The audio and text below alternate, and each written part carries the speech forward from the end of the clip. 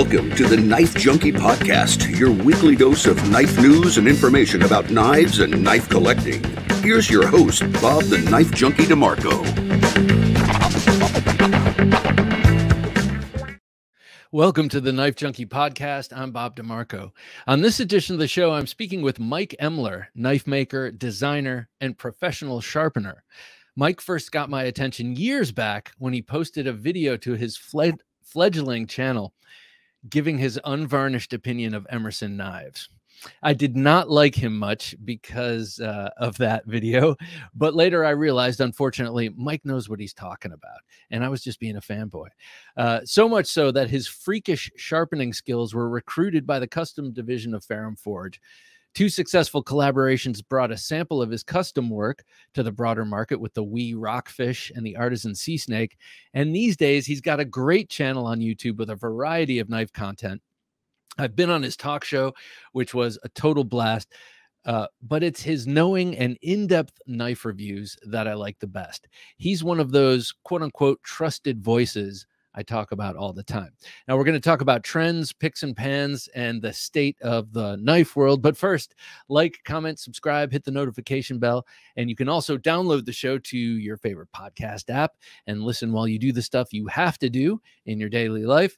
And then, as always, if you want to help support the show, uh, you can do that by going to Patreon and joining at any level uh, you so choose. We also have a great annual subscription at Patreon where you save probably more than I should have even set up. You save quite a bit, 12%, I think. Uh, so check that out. And uh, that's just theknifejunkie.com slash Patreon. Again, if you want to help support us, it's theknifejunkie.com slash Patreon. Ever strop a knife again, even though it gets no real use? Face up to what you are. You're a knife junkie. Mike. How I like the new intro. I absolutely love that new intro. Ever drop a knife, even though you know it's going to get into use every day. yeah, exactly. That's the story of my life. It feels good to strop, man. It's, sometimes you can go too far, especially depending on the strop compound you're using. But uh, I do no. have to admit, I got some of that gunny juice, uh, the the the diamond emulsion, and it, it, it as much as I might have disagreed with the whole thing with uh, KPL and uh, gunny juice. That that strop compound is is pretty good. It's probably the best uh, diamond emulsion strop compound I've ever used. So it's colloidal diamond, basically suspended in some sort of oil or something. Yeah, it's.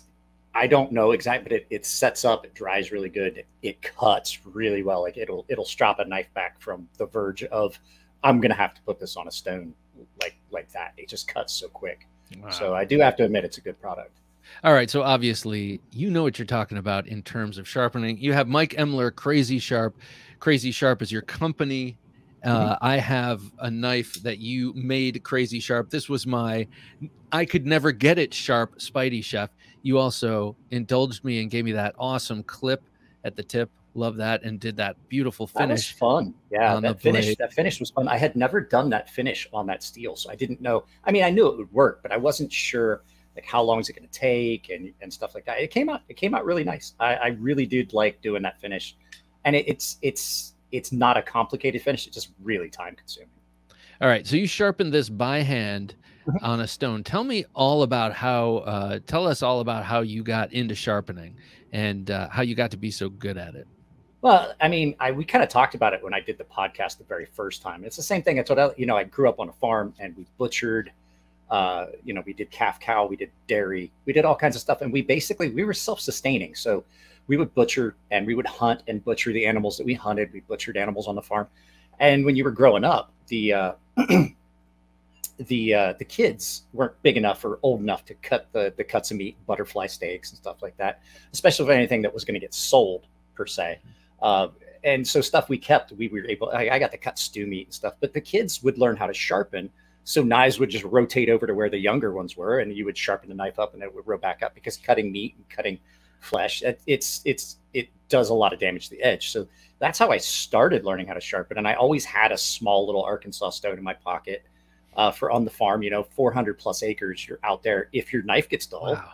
you're not going to run all the way back to the house to sharpen your knife. You're going to pull that little slipstone out of your pocket. You're just going to touch the edge up, and then. Uh, then I, I went to Japan and I studied martial arts for years and I had gotten into knives and I started looking at how Japanese swords were constructed and that that really cool apple seed grind or axe blade grind that they have that really uh, it kind of just it, it's really robust and it cuts really well and it pushes material out of the way and it's it's a lot more frictionless. So you can have that thin edge but still have a lot of material behind it. And i was like hey, there's got to be a way to duplicate that and so i just started on cheap knives i just took some cheap crappy stones that i had and i would i'd try to duplicate that rocking motion and, and bring those angles all together like i saw the japanese sword polishers do in videos because at that time you know this was just about the time i had met my wife and everything that I really started getting into it. And then my father-in-law, being a carpenter in Japan, taught me how to properly use Japanese water stones. Mm-hmm. And that mm. really, like, once I got to a point where I was using like good stones on good knives, that's when it really I was like, wow, that's this like not to toot my own horn, but beep beep, I'm pretty good at this. And that's when I started offering it to people that I worked with, and I would sharpen their knives. The guys on the ship always needed sharp knives. And then when I came back stateside, I, I was with Expeditionary Combat for a couple years, and then I got medically retired. And I kind of turned it into a side business. And then when I just got fed up with my government job, I, I just basically turned it into my only business, and it, it worked out pretty well for a couple years. And then things got real tight, and then I took another job doing construction, and now I got got put out of work because I got some medical issues, and I turned the YouTube job. The same thing I did with the sharpening, I did with YouTube. I just went. I'm like, well I don't have a lot of options. I'll just do what I can do. And so I upped the content to two videos a day. It started out, it was like one video a month, and then it was like one video a week, and then it was like four videos a week. And now I'm at like four video or three, three things that go up a day. So usually on Monday and Wednesday and Friday, there's a two hour live feed. At lunchtime, there's a short. And in the morning, there's a video, a full length video at, at 3 a.m. So at 6 a.m. Eastern, when you get up, you can watch that video. And then on Tuesdays and Thursdays, there's two videos and a short.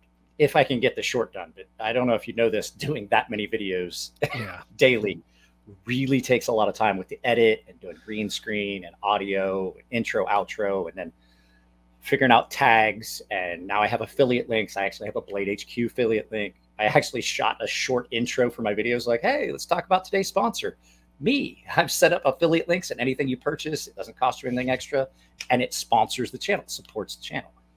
So the affiliate link stuff, it, it doesn't pay out a, a lot right now, but as talking with Jared, like I know that Jared Neeves has had his just monthly increase and so is mine. People realize that I have affiliate links and that they can use those links to purchase things anywhere on Blade HQ once they log in and and then they start purchasing things and and that that money starts to accumulate and more videos that have those links. So it, it was hundred percent like I just I really can't do much right now. I just got out of the hospital. I had a, a, a life threatening uh, infection in my intestines. Uh, the second round of it. This time it was a lot worse. I was in the hospital for uh, three or four days. And yeah, so now those. I'm like, I absolutely can't go do construction. So every time, every time I think things are going to look better and I can go back to actually doing physical work, things change. I actually resigned from the construction company. I'd been on their roster for over a year without working, and I was like, I just not fair to them. Uh, so physically, I can't do it, so I just resigned uh, as of yesterday. Okay, so you you are um, well, as I mentioned up front, you not only sharpen, you not only um, have your YouTube channel, but you've also designed knives.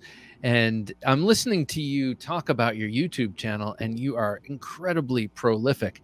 And uh, I've noticed that uh, a lot of the very prolific, um, well, online reviewers design knives and have knives made. Now you've done that. You've done it. You did it differently. You did it through We and Artisan. Mm-hmm. And mm-hmm. uh, tell me about that. And, and and what do you think of this? Um, well, this trend of enthusiasts and uh, knife reviewers designing uh, knives and having them built in China. Uh, so I love knives. I don't care where they come from. We talked about this before. Everybody talks about the like, oh, don't buy Chinese knives. And I'm like, okay, but you're posting this from your phone that was made exactly. So, I mean, I don't put a lot of stock in that. I would love to be able to have everything on my channel be American made. I would love that. I would love to only have American knives come in on the channel. But the fact is, if I relied on American knives, American made knives for content, I would do like one video a month and you right. would see the same video every other month. Yeah. I just can't get them in. The price of them is different. Um, and I, I just wanted to go you know, I was working with Elliot Williamson. He's the one that helped teach me how to make knives, taught me like, well, he likes to say he didn't teach me anything. It's like, there's the grinder, it's a piece of metal, don't screw it up. And, but he did, he did provide a lot of guidance and like, okay, if I wanted to do this, how would I do it? To walk me through it, and then I would go physically do it. Um, but this whole trend, I, I don't have a problem with it. If you can get a knife design and you think it's a viable design, go ahead and do that. What I have a problem with is some of these the the people that that review knives that think they're going to make a design and then they go ahead and they pitch it to a couple companies and then they go I, i'm not saying i think it's a bad idea financially for any one of the companies what I have a problem is they're putting themselves at risk of spending a lot of money. Like when you, if you mm. try to pitch a design to a couple of knife companies and they come back and they say, you know, that's not what we're looking for, and you get enough of those, I've got several designs that have went nowhere, and I won't do an OEM on them because I know I'm going to take a bath on it. Because if a company knows what will and won't sell, and they're telling you no, that's probably the best advice you're ever going to get. A knife company knows what they can and can't sell, and if they're telling you no, that would be the best decision to just go, you know, hey, maybe I shouldn't do this. Do you do you mean to say if they won't license your design, you shouldn't yes. have it made? I'm not saying you shouldn't, but just be advised you might be doing it just because you love that design. The sea snake. I see what you're saying. Yeah. The sea snake, the small little fixed blade. I never yeah. had any illusions I was ever going to make very much money on it, and I really haven't. I mean, I'm they've sold a lot. I make a I make a paltry amount every quarter, like maybe enough to buy a good budget knife every quarter. But that wasn't the point. I had made the customs, and I made those customs were six to eight hundred dollars a piece, depending on the steel and handles and stuff like that. And there was a lot of love that went into them. And I looked at it and I was like, this is a viable design. I can I get it out there? If I don't make any money on it, I'm really not that hurt about it because I wasn't making that much money on it to begin with. And I'm not making any money on it by letting it sit in a drawer and I thought it was a viable design. Now, if you if that's the reason that you're going with an OEM and you're just willing to just like just sell them at cost because you're passionate about the design and you're maybe it'll take off in the future and there'll be enough people that really enjoy it, then that's fine. But like if you're getting input from people and they're telling you that like this design isn't something that we think will sell, or if you're getting advice or like I've had I literally had a guy, Jared Neeves told me about this that wanted to sue me because I did a review of a knife and I said, like, these are the items that aren't for me. For me, it's not a knife. I know it's a well built knife and this and that. I said, all over, overall, it was a good knife. And he wanted to sue me because I was disparaging the design because I'm a fellow knife designer, knife maker. He felt that I was kind of out of like, oh, he's putting that. If you can't take that kind of criticism, like if you're going to put a design out, like think about guys that come up with this. Look at the sh- I'm sorry, I don't want to curse too much on your show, but look at the shit that John Grimsmo took for this design. Right. I love this knife. If you're not willing to take that kind of, uh, you know, criticism, like that looks like crap, or there's this is wrong with this knife, or why is the pocket clip like this? You shouldn't be. You shouldn't be putting designs out there. I mean, I, am I am I critical of advice that I get, or somebody disparaging my design? Does it hurt? Yeah, but can I look at it and go, okay, yeah, that might be something I want to look at if I make another design. Yeah, yeah. So that, I mean, that is things. That is relatively speaking, that is nothing. I mean, people endure so much more in terms of criticism and uh, kind of harsh feedback than someone saying, you know, giving constructive criticism. In a way, I think, you know, I asked you, what do you think of this trend? And I, you know, the term trend sometimes can sound uh, like have a bad connotation. I don't mean it that way. This enthusiast slash YouTube reviewer uh, uh, trend making knives, I really like because um, I do too. It's because a, you get yeah. so much more diversity coming out of the knife yes. world. There's so many things that that you might you might have a bunch of stuff that just doesn't work, and you're like, yeah. why would you do that? Yeah. But then there's also that niche community. Like think about Arcane Designs. Like oh, if he if he had listened to a lot of the old the old guard, those knives would have never existed. People are like, yeah. what the fuck is this? This is garbage. This is yeah. horrible. Why would you even think that's a good idea? And they resonate with people. And guys like Elijah Isham, you know, good friend of mine, just recently passed. Look at his designs. Imagine if he had tried to do that, like making knives with Chinese companies to circle back around onto that. Mm-hmm. Imagine if he had tried to do that with a company like Case Yeah. yeah, right. Like if, if he had tried to come up with that design 30 years ago, people would have laughed him out of the room. They would have been like, "Get get out of here! There's no way." But because there were there are companies that are willing to, you know, hey, if if we think there might be some money to be made on it, we'll do it. And so some of those companies are more willing to take risks because they're not taking as big a risk because it's not as expensive. If I was trying to get something made by Greg Medford, would I have like tried to take a chance with some of these other designs? Absolutely not. Greg's knives are going to be expensive to make because as much as I might not agree with Greg on a lot of things, Greg probably makes some of the best made knives in this mm-hmm. country. Like if you get a knife that's made by Medford, even if it's an OEM for like Strider or some of the other guys that he's done some OEM for, you're probably going to get the best version of that knife that has ever existed. I've I've, because, I've had that inkling, especially with Strider. Yeah, I mean, I don't like Greg's actual knives. like I have one here. I have the the INFTI, whatever the infant, uh, in, one of the old in, school ones that he yeah. did. I hate it. It's horrible, but I can also look at it go, the machining on this is it's some of the best I've ever seen. Yeah, and the action is incredible. I, I love washer action, and you get some amazing washer action, uh, even though that they are ridiculous designs on the whole. Um, I just wanted to finish my thought. I was saying uh, that that the I like it because uh, the enthusiast thing. Uh, it's a mode of self-expression from all of these different people that you you grow to know and like because you watch their videos all the time you know what I'm saying? And now you have something you can put in your pocket that came from them. Mm-hmm. Um, so there's a personal thing there. It even if it never goes wider than uh, than that, I like it. Uh, but B or two, however I started, um, okay. I, I like that uh, uh, that that well, not only you have a chance to own something that these people uh, have made and it's their thing, but these people spend all of this time uh, uh, scrutinizing knives, all of the best knives that come through their um, their review tables, and they decide. You know, they they take all of those things and put them together. I mean, I feel like you did that with the Sea Snake because that's that is a true EDC fixed blade. I have a bunch of EDC fixed blades that I cannot carry every day. I can carry the Sea Snake every day. I used to have the all black one gave it to a friend in need. I but, had an all black one and gave it away as well because I mean I can get them pretty easily. I, I, uh, yeah. I, know the I know the company that makes them. but but that thing, I mean, you distilled that down into a very thin blade stock, thin thin handle. The whole package is small enough to fit in your pocket if you want it to, or around your neck easily.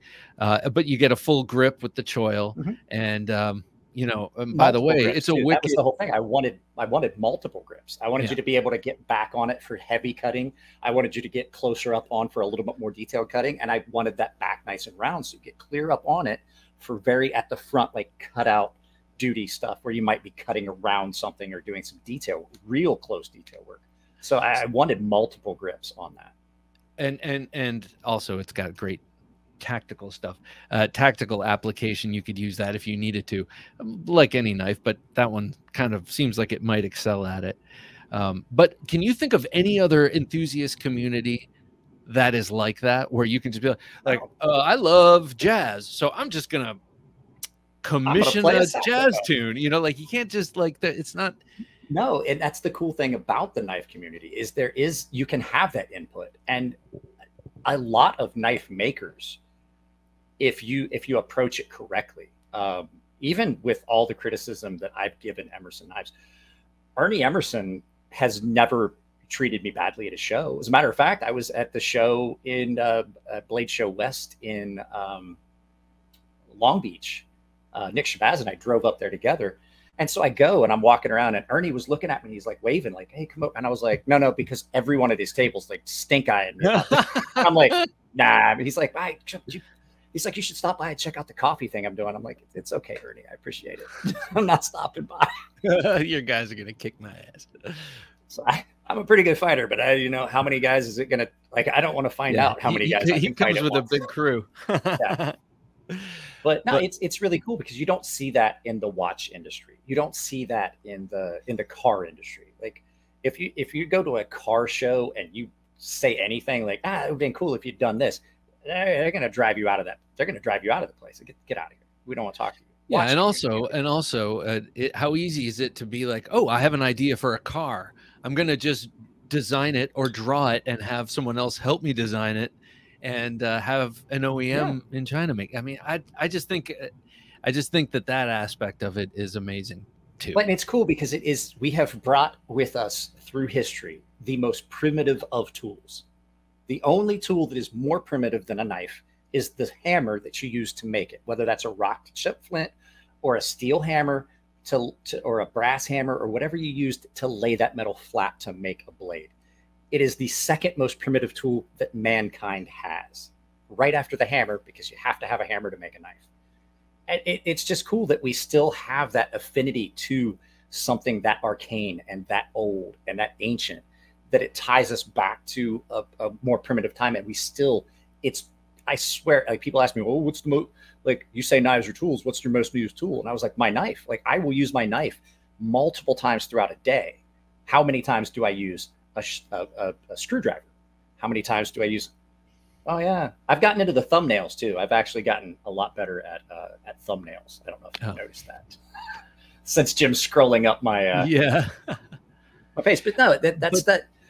The thing with knife makers and the knife community, it, it it's kind of a primal thing that we have a connection to through these tools. I, I agree. I couldn't agree more. I feel like it's in our genetics somehow, or in our genetic memory.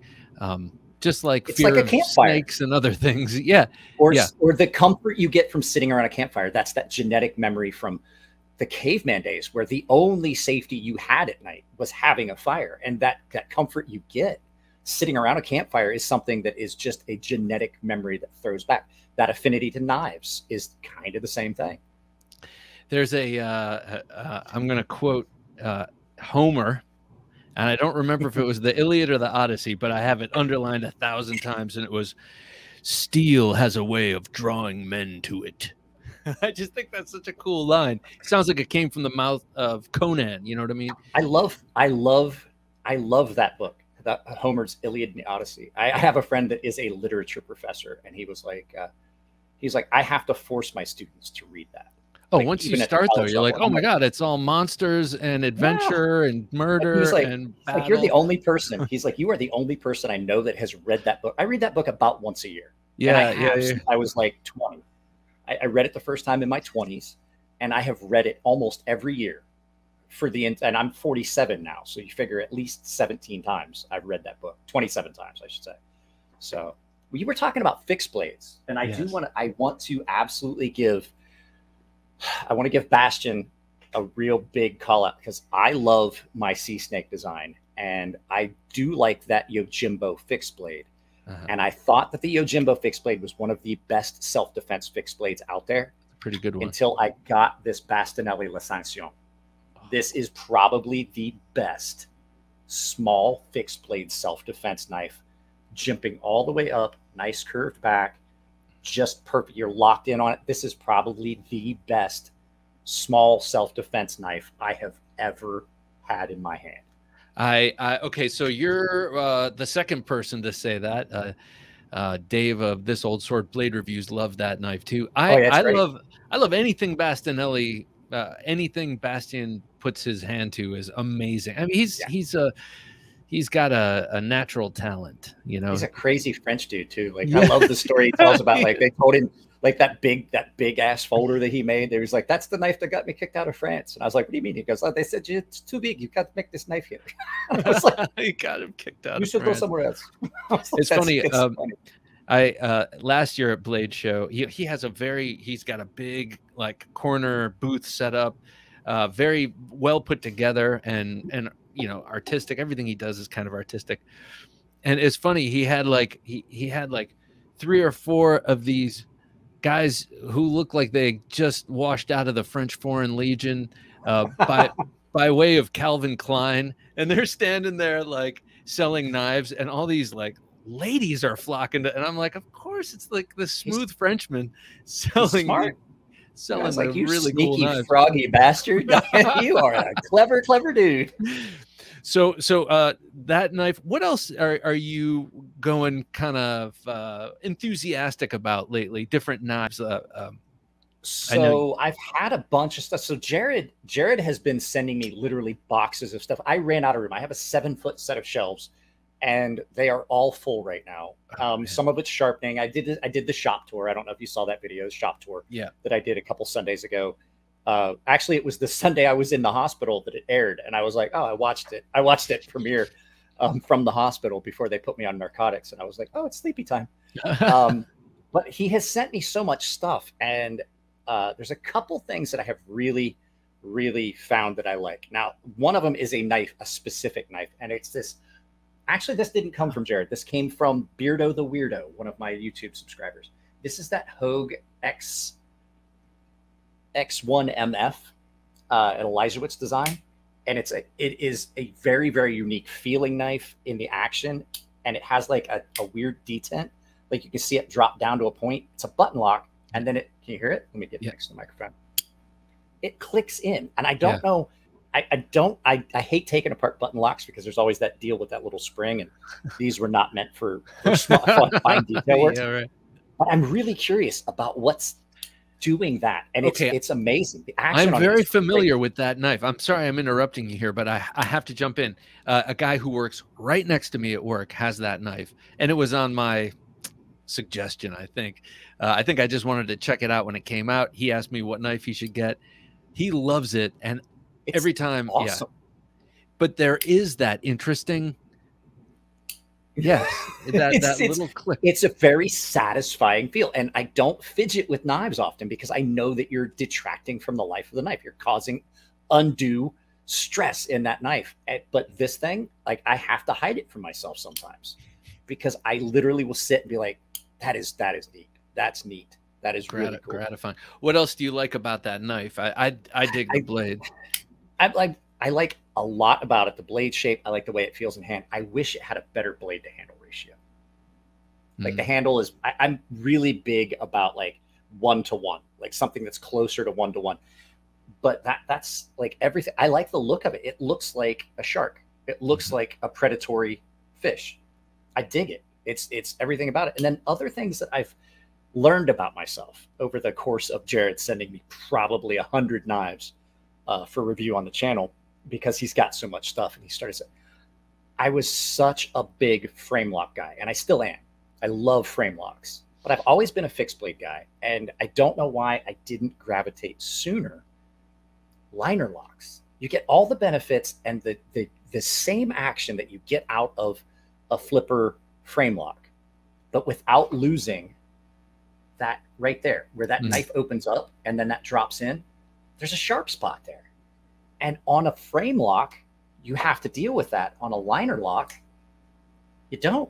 There is no change in that. It feels exactly the same, but you get the same. And modern liner locks are every bit as strong. They may have already been as strong, but I think I just had garbage liner locks. I'm like, that's not uh-huh. a good lock. You know, the, the liner locks that I'm seeing are every bit as strong for what you're going to do on a day to day basis with a, a frame lock and you don't have that level of discomfort. And I mean, you're not giving up anything, and you still are getting a very reliable lock that is the same deployment, but without the discomfort or change. And then you have those options where you can put like addition. Then you have those two color options, like you can see the gold and red on this one. The video on this one goes yeah. up tomorrow. This is that Iron Man uh, Lätt Vind Mini from oh. uh, from uh, is this Kizer? Yeah, Kizer. And so I mean, it's like a grown up Swiss Army knife yeah, yeah. It's, it's I hear you about the liner locks. I've been kind of gravitating back towards them a lot recently too, in and and especially in my purchase of, um, you know, some of the some of the more I don't know Chinese knives. I don't know how how else to put it. Uh, yeah. Um, here's the Bellamy. You know the Bellamy. Oh, I from, love that knife. That that knife is on my short list of knives that were the top knives that have come in so far this year. This this thing is awesome, and one thing it has is three ways to deploy. So now mm-hmm. here's something here's something that I only see working super well with a liner lock or a bolster lock. Otherwise, yeah. you're dealing with the damn uh, frame lock lock bar. And I don't mean to damn all of my frame locks because I love them dearly, but uh, with the uh, liner lock, you can do all of the different um, yeah uh, different deployments and equally. I've said I think you've probably heard it in a lot of my videos. I don't like front flippers in a frame lock configuration because of the size of my hands, and then I'm in a position, and I don't like I don't like front flippers that are I don't like front flippers that are uh, a single deployment. Like I don't like front flipper only knives. Oh, okay. because they feel like to do a front. Where'd that? It's right here. I grabbed some of these because I, I figured you'd ask. Like when I get a hold of this knife, look at how I'm holding it. Now, if I'm flipping it, I've got my hand in a position where I'm really on that. Well, I, I hit the thing with my thumb. Hmm. But if I'm going to use the front flipper, I have to take my hands in a position where I basically lost control of that knife. And I always feel like I'm just going to flip a front flipper out of my hand. And if, if you don't do that, but like I can do a front flipper that doesn't have a frame lock. I can do it because I'm not pushing on that with the size of my hands because I got Right. really big hands. I wear triple XL gloves. So front flippers in a frame lock configuration just don't work for me.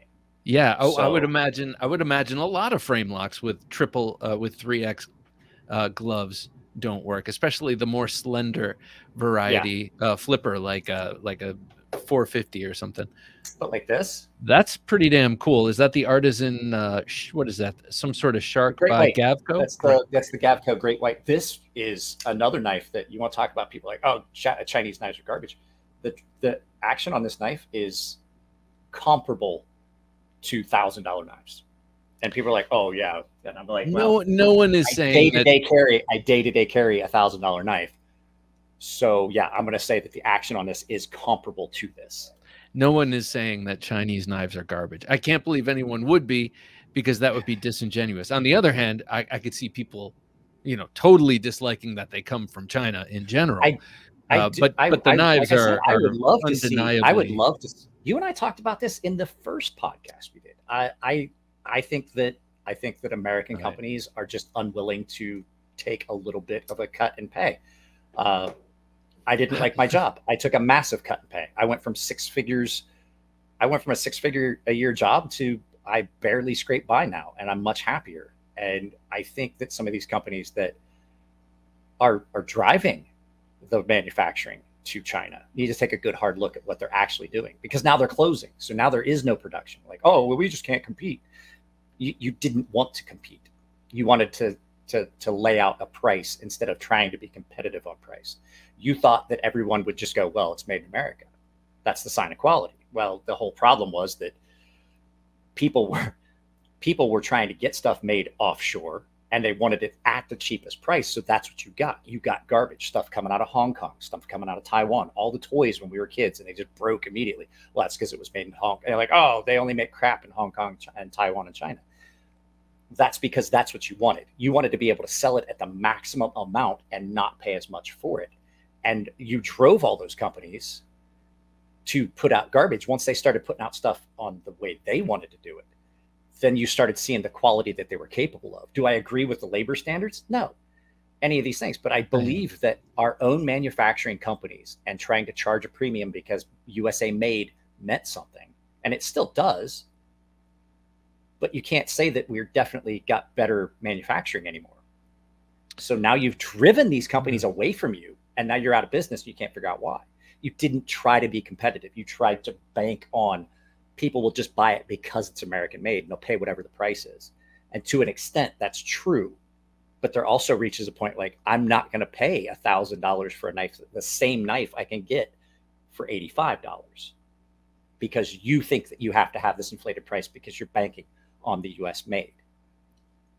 well, I think It's unfortunate. I, I think I think the U.S. made is a portion of it, or a, maybe even a large. Maybe it's the lion's share of it, but I think a lot of it has to do with having to deal with unions and you know just the Which expenses. I'm not that- at all trying to say I'm against unions. No, no, unions no, are I'm- probably I'm one of the best things that ever I'm, happened. I'm not when you suggesting that, but but done for- also but also that that people you know these days uh, it's harder to get uh, paid a living wage here and uh, you know so I, I think there are a lot more struggles look when you when when there is a when you're a big company in China, or when you are a company in China, you are kind of working with the government. You know, you're yeah. kind of a government company, so you you get that backing. Whereas, uh, you know, if you were to start a an OEM here, I don't think you get don't get wrong. There's companies. Uh, there is Hephaestus, uh, Hephaestus Machine Works up oh, in Anaheim area. Uh, they do OEM stuff. They are probably going to be working with some. You'll probably hear about them a lot more in the future. Uh, there's some places in Arizona that do machining. You've got Greg Medford. Mm-hmm. It, the the problem with it a lot of times, like I said, is the cost of doing business. I would have loved the Sea Snake to have been an American-made knife, and I just could not afford the prototyping. No one wanted to license the design. Everyone wanted to just like, oh, just do the OEM. And I'm like, I, I can't afford you know, even at $60 a knife, if I'm selling it at 100 and I'm making $40 per knife, that's a lot. Yeah. If I can get a knife made, initially. I mean, even I can't even afford to do like OEM in China and sell it myself. That's still too expensive for me. So it's just like, and I'm like, okay, well, if you're going to charge me $6, what's the minimum run? And they're like, oh, you got to do a hundred. And I'm like, I'm looking at, at a minimum investment of, you know, at least like six to ten thousand dollars for what I want to get done. You know, that's because I want to have the handles done, and I want to. I don't want to have to do any of the assembly, right. and then I'm still going to get a hundred knives at thirty dollars that I have to sell myself, or sixty dollars, like six thousand. You know, however yeah, yeah. much it's going to cost. Then I still have to do the footwork of selling all those knives, and there's no guarantee on it. It just didn't make any sense. Oh, I mean, I think I think designing and licensing is also a sweet gig. Uh, you know, talking to Kombou about that, or um, or uh, yeah, Kombou. Uh, talk. I mean, he he he designs exclusively for Bestech, and yeah. that, that's a great gig for him. Oh, excuse me. Um, uh, I was gonna. Oh, Hephaestus OEM. I love the name, by the way. Hephaestus, the the yeah. uh, the, the, the Greek god of the forge, forge. the Greek yeah. god of the forge, or yeah. the god of steelworkers. Um, so the um, sea snake was the first artisan cutlery knife done in their AR RPM nine um, proprietary steel. No, they did I, two at the same time. There was, there was, a, there was two. Uh, there was my knife and the Ria. So they the Ria that the was Ria. a sweet little knife too. Yeah, they released the Ria, which is like that's I think that's why I like this so much. Is it's a really similar blade shape to this. Mm-hmm. Um, so they did that and my sea snake. Those were the first two knives. So they they came out right at the same time. So you're AR, like you're a steel expert with all of the with all the knife making. I, wouldn't and... say I'm an expert. If you listen to the people that complain about the things that I say on my YouTube channel, like I tried, I, tried, I did a video where I compare, like I said, how much better Damasteel is because it's monolithic. There are no layers. Oh. It's all one solid piece of steel versus forge welded Damascus. Oh, he doesn't always talk about Japanese swords were made that way. I was like, Japanese swords were made that way because they were made in substandard steel, and it was a way to purify the steel and equalize the carbon content throughout the billet. That's why they folded it because it was inconsistent. It was made from garbage black sand. It was what they had available. And they found a way to purify that steel and come up with a very good design it's still a stub it's still a substandard way to make steel forge welding is always going to be worse than monolithic steel which is basically one piece construction and with Damasteel you get the best of both worlds you get that pattern and you get two steels that are so similar that they heat treat at exactly the same level level and you get the same hardness so it's basically like having patterned rwl 34 and you get you get it consistent throughout that billet there are no inclusions. There are no chances of delamination. You don't have to worry about difference in hardness between this steel and mm-hmm. that steel. And then you have some companies, as gorgeous as it, is, as it is, there are some companies that are making steel with, they're making their Damascus with one element, that high nickel steel, that will not austenize. So it's not hardening. It's not a hardening steel. It's not an austenizing steel. So you don't get the same hardness. So you'll have spots where you sharpen it and then after you use it a couple times, you run your thumb down it and you can feel areas where that mm. steel has deformed or worn away. And it's like a sawtooth. Uh, Vegas Forge, I love those guys, but they use in some of their steels a non austenizing steel that is a high nickel content that allows it to shine through when they fold it. And if you're just looking at it for aesthetics, that's great. Okay. But if you're looking yeah. at it for something you're going to carry out in the field and use, not so great. It's So- kind of like uh, um, I know uh, some some smiths will will forge copper in, uh, not not near the cutting edge, but Yeah. just as a as a uh, on the outer That's why I like jacket. clad. Clad is fine. clad, Like, yeah, that's right. gorgeous. If you want to do it, use it It's like a on clad a and san mai, a san mai. So you have a center that core of. A Sanmai is that compromise between the two, and it's an old Japanese style. They did it in swords where they would separate the low carbon steel and the high carbon steel, and they would leave the low carbon steel, which was undesirable, as the softer back, and they would jacket the harder steel in so that they had a really hard cutting edge that would harden, and then they would differentially temper it so that you get the softer back. So you have a really hard cutting edge, but there's not a chance that the whole sword is going to sh- shatter. And it's something that we turned into something where you can have a high end high speed super steel and then clad it in something that's cheaper and you get the same effect. You have a great knife with a super edge retention and you don't have to pay as much because you're not using as much of the high end expensive steel. Is that like it was a brilliant idea. ZDP or one of those? Uh, CDP, uh, Cold Steel used to do it with their, oh their, yeah, with uh, their with their Sanmai. As a matter of fact, they tried to patent the the the, the word Sanmai. Like you couldn't use it. I'm like, that's not gonna work. Japanese been doing it since since, the, since just after Christ was born. You know, what what about the super steels? What do you think of those? I'm on the fence with super steels. I actually have gotten to a point where there's times that I really love them, and then you get into things like, okay, Magna Cut. Everybody's on this Magna Cut thing, and I'd heard so many people say, "Oh, Magna Cut's soft and this and that." It's a very specific heat treat range that you have to do. It's not as forgiving. S90V, S125V. I've done knives in S125V. It's a nightmare. And you can absolutely screw it up by being 100 degrees off on your temper cycles. Hmm. So, what you get in that is something like as a maker, you have to deal like, okay, what am I going to get out of it? Well, I have a knife that I can score glass with because it's 67, 68 Rockwell after heat treat and temper. It's never going to get dull. I've made some of them. My buddy Tino has two knives in S125V that I did with a custom in house heat treat. And I've only ever had to sharpen one of them, and he's had them for years and he uses them all the time. Hmm. The downside to that is stuff like Maxamet. People are like, oh, Maxamet's the greatest thing. I'm like, yeah, really? Then how come nobody's sharpening it themselves? And how come every time I get a Maxamet blade, it's chipped? It's great for specific things. But when you come back to it and you look at 440, 440 is good for everything. Carbon steel, carbon steel works for anything as long as you're not going to get rusty, as long as it's not 14C28N, one of the Oh, yeah. original great steels that was bushcraft steel. It, it- it takes a great edge, it holds it, it's easy to sharpen. So we've gone to a point, and this happens every couple years in the knife community. Remember, we had the the, the whole HRC mafia thing that happened a few years ago. Yeah. And everybody got wrapped around the axle about it. And then now uh, transparent knives and and Hinderer, they're a little dust up with it. And it just it goes in cycles where people will complain about it. But my take on it is if you give the average knife user a knife in 14C28N or 440 and a knife in ZDP 189 and tell them to carry it for a month, they're not going to know the difference. So for most users, why are you paying the premium for something like ZDP 189 at 67 Rockwell or 20 CV or S125V or S90V? Just find a knife that's done in in 14C28N. It's going to get you what you want, and it's not it's not got a lot of frills and bells and whistles, but it's going to do the job, and you're going to be able to sharpen it and keep it up and maintain it way easier than something that is up on those upper registers. You a lot I of mean, the most desirable knives are made in those steels.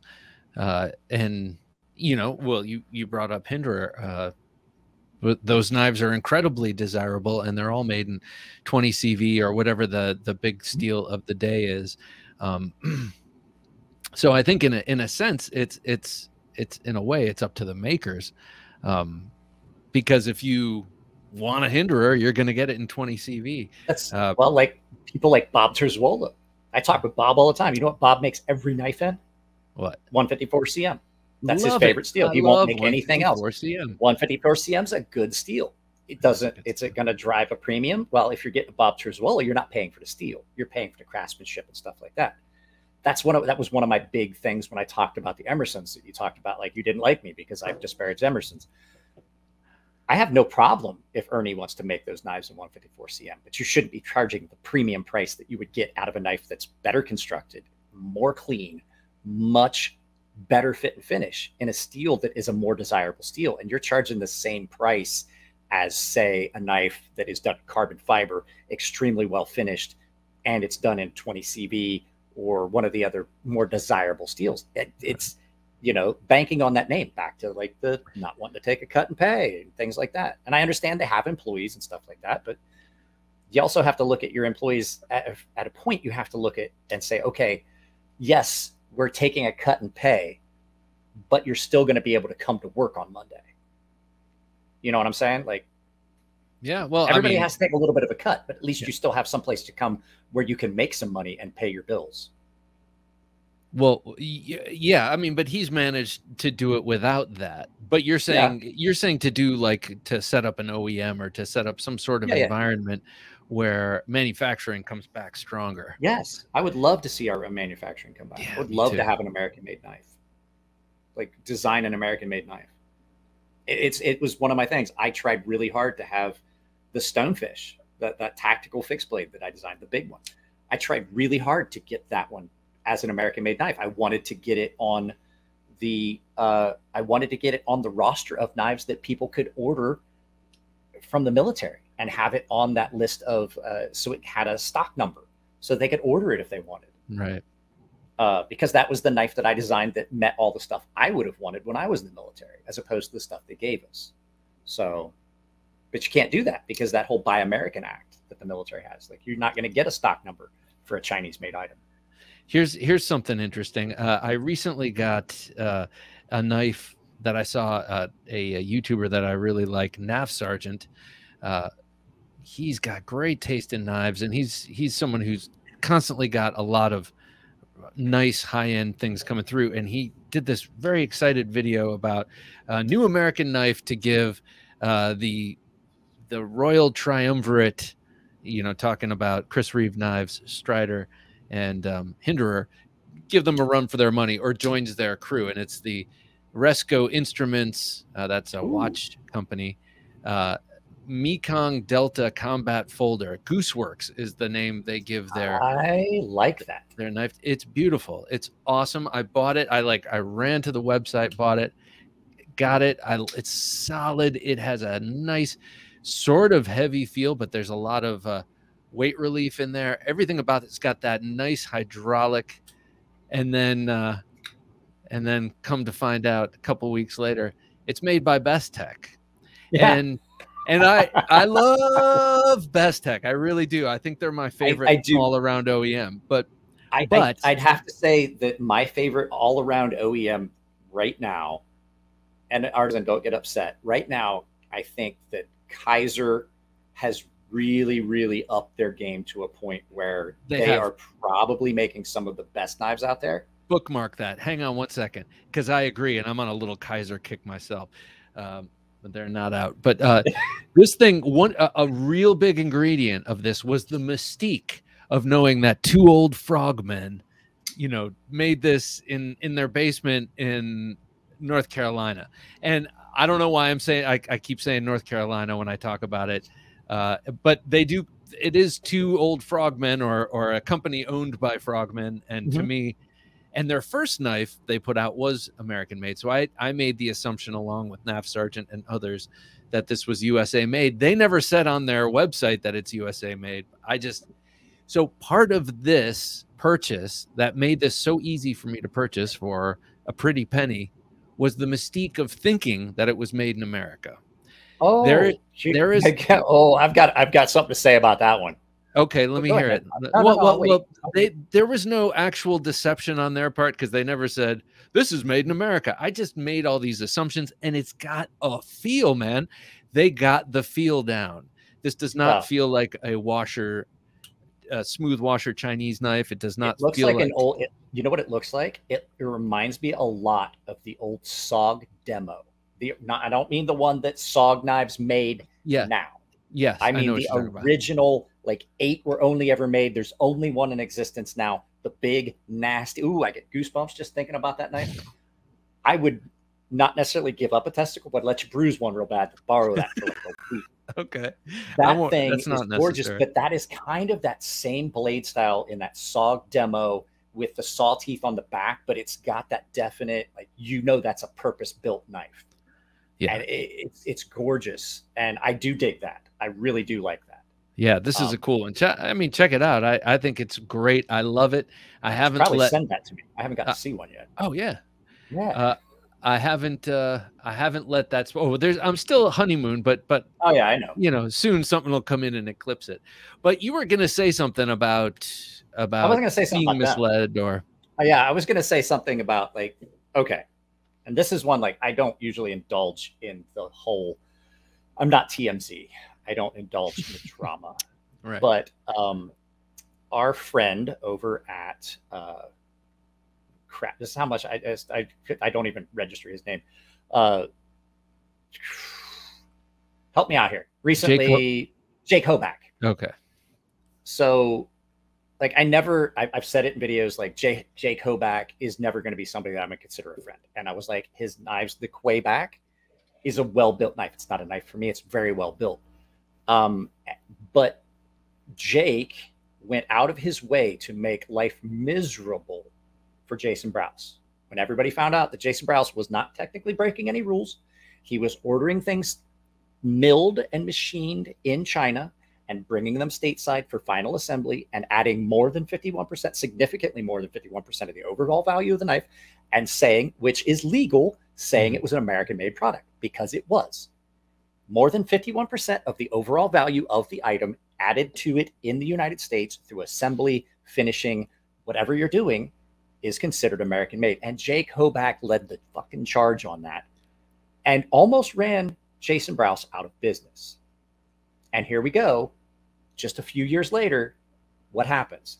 Through a lie of omission, Jake Hoback did the exact same thing. Every he knew that those he knew that those retailers were saying they were American made knives. He knew that he was allowing them to do that, and he continued to just bump up those profits and I'm just saying, like, I, I don't wish bad on anyone, and I hope he can recover from it. But like, if you're going to be the guy that's leading the charge on that, you shouldn't be the guy that gets caught doing it later. Yeah, that I, really I, pissed, it really pissed me off when it happened the first time because knowing that Jason Brous had broke no laws, is it is it is it kind of a dirty dealing thing? Well, Boeing does it. They say their planes are made in America and they yeah. order everything from China and they build yes. it here. Oh, it's on. made here. The parts aren't made here. But when you come back to it, like even American made knives, where'd you get your steel from? Where was the titanium sourced from? Yeah. We don't have titanium. Jake, we you have titanium protest too much, here. sir. Yes. Yeah, that is that is you know. I just think the lady protests too much. It, it's always the it's always the loudest voice, man. Uh, you yeah. know, who's and who's, I I just think in my heart because I love Jason and he's a great dude and I've talked to him a lot. I want to get him on a podcast, but he's he's really shy, especially after that all happened. Mm-hmm. And we've talked about doing it, but the fact is, like to see that and then see it happen. I, I don't usually wish ill on people, but it just kind of made. I was like, karmic retribution. The yes. universe has a tendency yes. to equal things out. Yes. So I was just kind of happy to see it happen. I, I, think I, Jake Hoback's name is Mud, and and unfortunately, and and I don't like to put it that way, which but is I sad because like the knives that he did make are great. Yeah, and the uh, Kwaiback is a great, great knife. And and this summit, I had the summit uh, through the pass around group. That big knife. Oh my god, I loved it. I was. Uh, it was it it is openly made in China. I mean, uh, on the website it talks. This is one of his newer designs, and you the know, sumo. since the sumo was the one that I saw. Sumo's I, I cool actually, too. I, I kind of dig that. That's not too bad. That's a pretty good the, design. And the, I saw uh, his axis he made. the summit like is is in the same spirit of the sumo, kind of that modern. Looks like a shuttlecraft from a spaceship, but mm-hmm. feels great. I've seen it. I just haven't got the handle one. Oh man, it's unfortunate because it's like a six hundred and twenty dollar knife made in China by Jake Hoback. You kind of kind of wish it would be a little bit less, you know, uh, than those American made prices we were talking about earlier. What what what have you seen? You've been in the knife world for a, a considerable time, and by that I mean, you know, an active person within that community.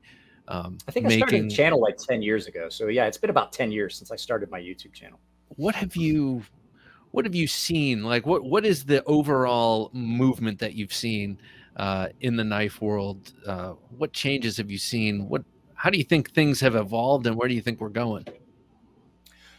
I, have I've seen the I've seen the change from the big beefy overbuilt, you know, 1.8 you know 0.187 blade stock thickness and it's 0.4 behind the edge because you think that's going to hold up better down to the thin blade stock and, and behind the edge thickness of like 0.012 stuff like that where it's a really slicey knife and then people have realized that like you know what? It doesn't have to be so thick to hold up. Like if i'm going out in the woods and i'm gonna chop down a tree yeah i want that big beefy thick behind the edge.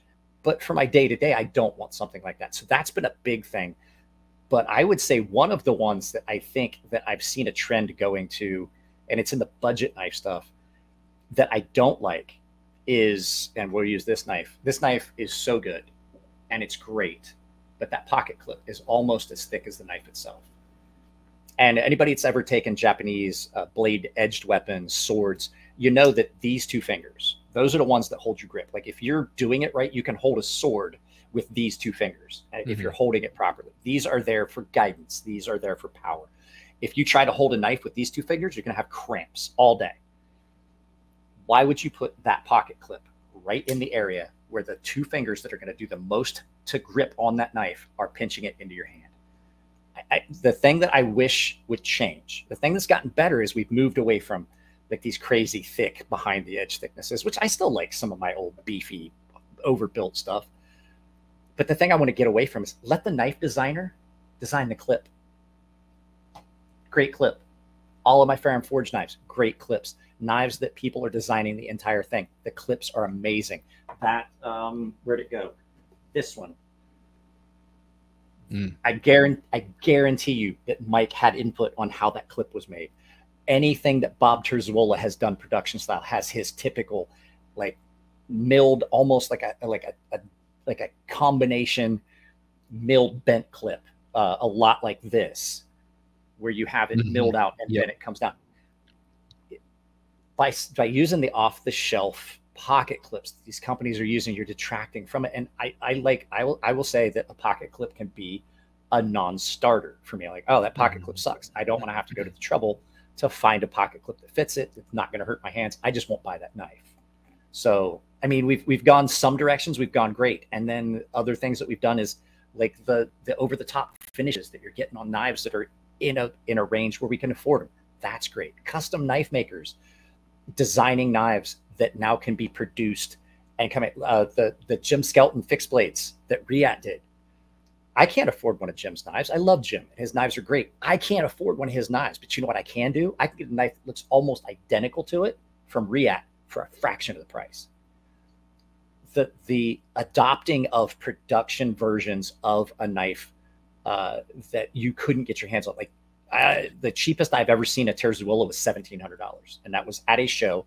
And Nico bought it. My little buddy Nico bought it, and it was a seventy-five for seventy-five Terzuola, seventy-five knives for his seventy-fifth birthday. Oh yeah, that those. is amazing. Yeah, that's still a good price for that knife, but that's the cheapest you're ever going to find one. Bob has now produced his designs through several productions. Yeah. And I'm like, that's amazing because it takes a knife that most people will never get to have and provides you with an opportunity to carry a knife that's designed by that person that follows the same lines, has the same, almost the same scrutiny because, you know, Bob's not going to put his name on something that he doesn't stand behind. And you're getting something that typically you would never see in your life and you get to carry it and it's yours. So it, it's a lot like offering multiple price points on a knife. Like Ferrum Forge does that now with some of their their uh, their knives, their production knives. You have an $89 version of the Stinger. Now you have a $210 version if you want to get a titanium frame lock version yeah. with with carbon fiber inlays. You have that choice. Yeah. And that's I, a big thing. More that, production that is, means that you have more options and you can buy what you wanted to always have in yeah. some form. That is exactly uh, I love Boker for that. I, I love a lot of companies for that. I, I will never, I say this never, I shouldn't say this. It will be years before I own a Charles Marlowe custom knife, but I can right? own the Squale. I mean, that's my that's my dream knife I'll right there. I'll never own a Burnley. I'll never own a Burnley. They're so insanely expensive. But the one that Boker makes, Yeah. It's a pretty good, it's a pretty good representation of his designs. And I love that little Boker, uh, Burnley. What is what is that one? The the The Kwaiken. Kwaiken, the Burnley Kwaiken. I love that knife. Dude, I, I joke about that knife a lot because because that knife has about 20 to 25 different versions. Oh Uh, yeah. l- light, light, small, automatic, short, Mm-hmm. what have you. Anyway, uh, Mike, I could go on and on and on. Oh, we could, we would uh, if we if, you, if Jim would let us. but yeah.